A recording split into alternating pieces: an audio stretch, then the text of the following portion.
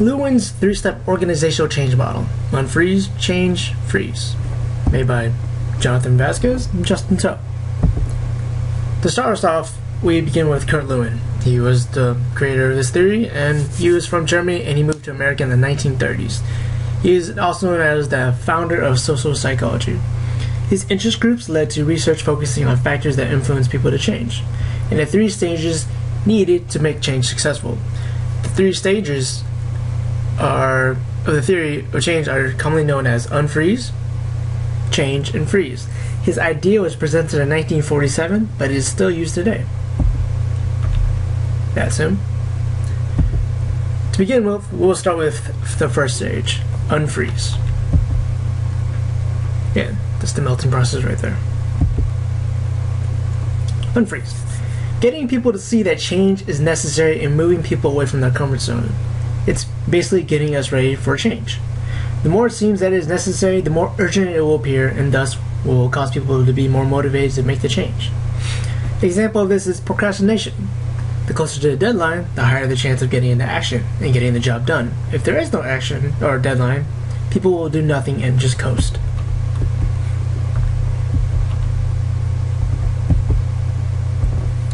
Now, unfreeze. What people usually tend to prefer is having a sense of control and finding a comfort zone that is relatively safe.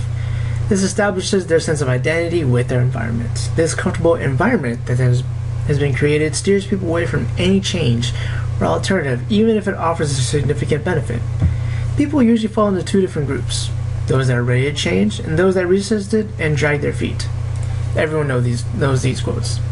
This is how my father did it, and his father, and his father. I will do the same. If it ain't broke, don't fix it. Now, next, we want to implement unfreeze. In this part, understanding is the aspect of this stage. You have to understand why you need to change for change to occur. You first, what you want to do is collect data to reinforce what needs to be changed and determine why it is so crucial to do so. Without the support from upper level management, change will be extremely difficult to achieve. When there is backing from above, it is easier to get things going. Also, find out the supports and resistances early on, for this will help prepare for problems and successes further down the process.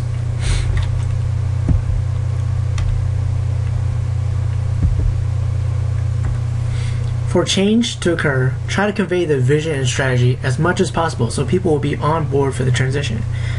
The why is also extremely important. People will be less likely to change if they do not know the reason for it. Or use huge emphasis on the why aspect.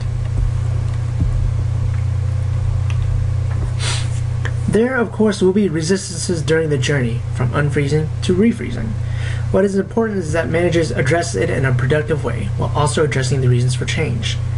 Manage doubts and understand their concerns, but always keep an open mind and but be sure to, to reassure them that change is beneficial to them. The second stage that we will address is change.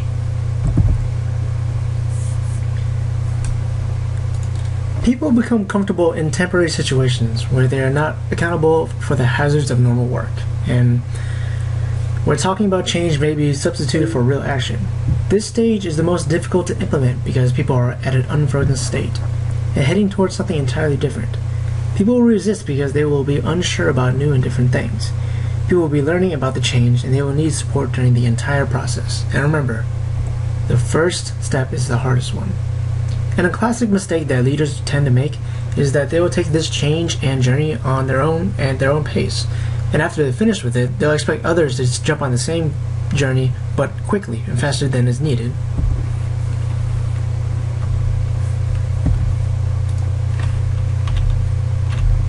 Now, one thing to be aware of is the pleasant trap. It's better to travel hopefully than arrive.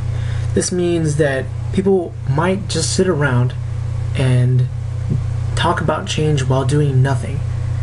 It's an event where people just talk and never take any action. Planning and conversing is important, but the end goal will never be achieved without taking the first step. Implementing change transition. Communication during the process is important, especially conveying the benefits of new changes. The cause and effect reasoning will help workers and employees who are against it better understand the need for it. A well informed employee is helpful during the process of change and will also help to prepare them for it.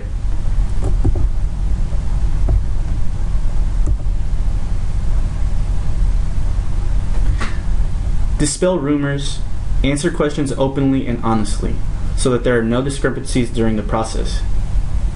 Do not take too long to address problems, for it shows a weakness in the implementation that we're trying to establish in the organization. Empower action. Offer lots of opportunities for employees to be involved. Again, support is crucial to the stage. This can come in different forms such as coaching and leadership training.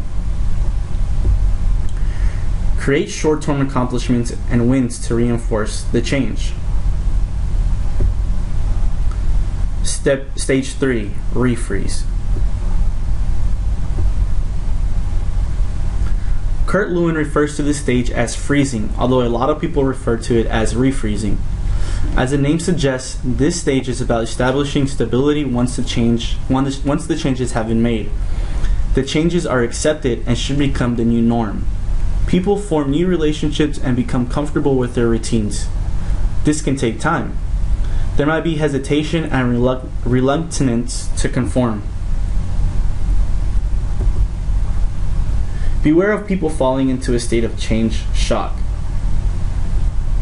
Often many wonder how many more times will there be a new change implemented and is this work and effort even worth it? Which may lead to discouraged and inefficient and ineffective workers. Now, implementing refreeze. During the implementation phase, it is important for top management to set a positive tone when establishing change. A top-down a top-down approach would best suit this initiative. Managers should encourage an open door policy in order to establish a sense of support and encouragement to ask questions and to create a sense of importance. Identify individuals that have an influence in the organization that might not fully support the initiative and have their voices have their concerns voiced so that they may be so that they may alleviate and eliminate their barriers preventing change. Lewin's concerned about reinforcing the change and ensuring that the desired change is accepted and maintained into the future. Without this, people tend to go back to doing what they are used to doing. This is probably what Kurt Lewin's meant by freezing or refreezing, supporting the desired change to make sure it continues and is not lost possibly establishing a reward system so that employees feel that by implementing the change, they're also getting incentives from it. Provide support and change. Have training available to employees. Keep everyone informed and have support ready for employees. Now, how does this unfreezing change and refreezing relate to technology and MIS. One could take the example of change, switching our services from BlackBerry enterprise servers servers to iPhone. Possibly explaining to the employees the benefits of changing to iPhone, such as more support, a more reliable network, would be ways of, of establishing this. Uh, having top management relay to the employees that the changes for the best, and that we will see dividends paid in the future. This is one example of how this theory could be applied to technology.